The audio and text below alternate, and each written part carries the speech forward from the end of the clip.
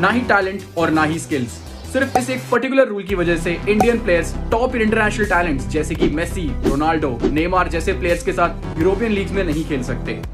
इस रूल को बताने से पहले थोड़ा सा कॉन्टेक्स्ट बताता हूँ। साल 2010 में क्यूपीआर ने ऑफ़र किया था सुनील छेत्री को a three year long contract to play for them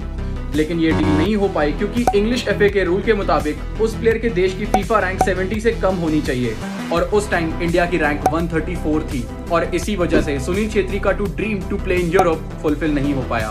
और आज भी इंडिया की फीफा रैंक 105 है, जिस वजह से इंडियन प्लेयर्स यूरोप में नहीं खेल पाते। आपको क्या लगता है, क्या ये कोई क्राइटेरिया होना चाहिए किसी भी प्लेयर के टैलेंट को जज करने का? Do let us know in the comment और ऐसे इंटरेस्टिंग फुटबॉल शॉट्स के लिए subscribe to tackle from behind